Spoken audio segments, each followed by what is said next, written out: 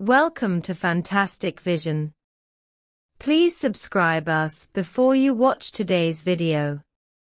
Chips are widely used in modern electronic devices and are often the core components.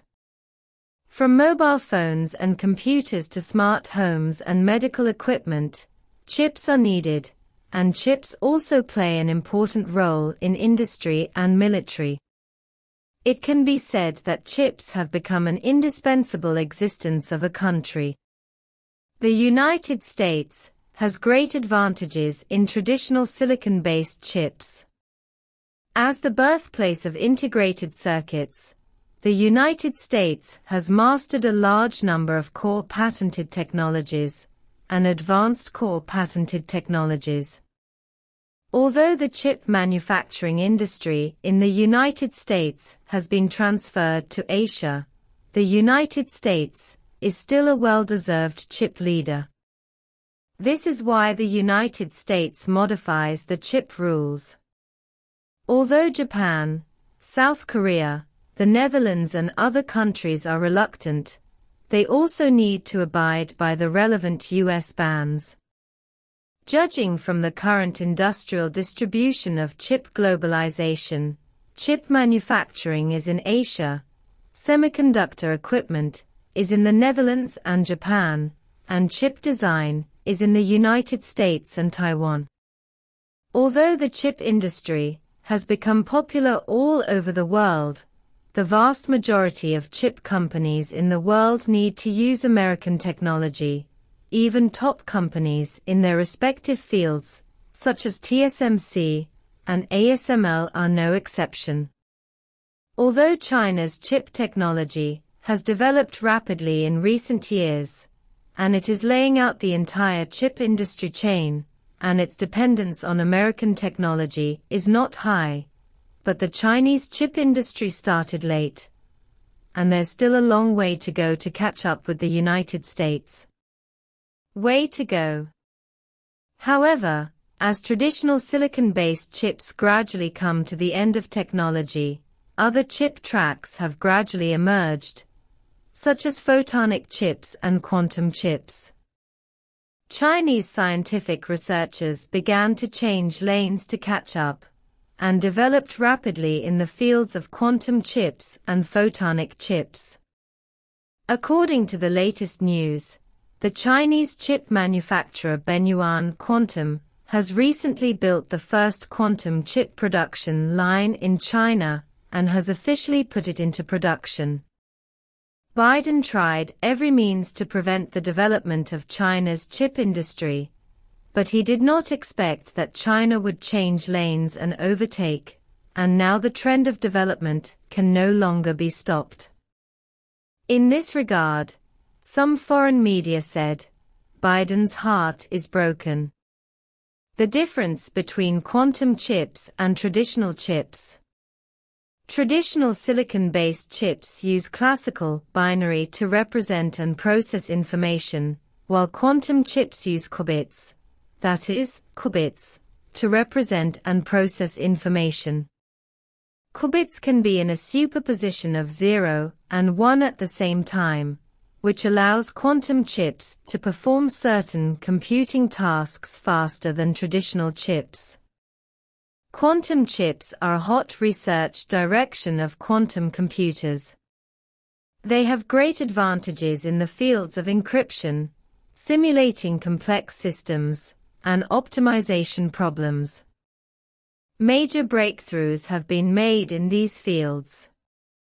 Not only that, Quantum chips can also be applied in many fields such as quantum computing, quantum communication, and quantum sensing. Wide application of quantum chips. At present, quantum chips are mainly used in the field of quantum computing. In this field, quantum chips have huge advantages that traditional chips cannot match. Judging from the current situation, quantum chips far exceed traditional chips in terms of computing speed and processing power, and the performance of quantum computers in these fields also far exceeds that of traditional computers. The powerful computing capabilities of quantum chips enable them to play an important role in solving complex mathematical problems and have excellent performance in fields such as optimization, simulation, and cryptography. In addition to its outstanding performance in the field of quantum computing, quantum chips also have excellent performance in communication. Quantum chips can use the characteristics of quantum entanglement and quantum stealth to realize the safe transmission of information, and the information transmitted by quantum communication can also effectively prevent eavesdropping. In the field of measurement and detection, quantum chips can produce highly sensitive sensors so as to achieve more accurate measurement of earthquakes, gravity and magnetism. Seismographs, gravity measuring instruments, magnetic needles, etc. manufactured through quantum chips have excellent performance.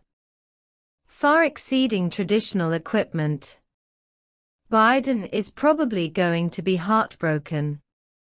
If it is said that in terms of traditional silicon-based chips, the United States can still use its first mover advantage to restrict China, but in terms of quantum chips, the United States seems powerless. After all, in terms of quantum chips, China and the United States are on the same starting line. According to China's scientific research strength, even if the technological level in the field of quantum chips does not exceed that of the United States, it will not be left behind by the United States. They basically belong to the same echelon. How can the United States sanction China? Take the quantum chip production line of the original quantum as an example. In terms of software, the original Quantum has Benyuan Kuan which is the first EDA software designed for quantum chips in China. In terms of hardware, the laser annealer and non-destructive probe station of the source quantum are also independently developed, and it can be said that there is no dependence on foreign technology. This also means that the quantum chip production line of Yuan Yuan Quantum is basically built by domestic technology and equipment, software and hardware. Without dependence on foreign technology, it is naturally impossible to be sanctioned by foreign technology.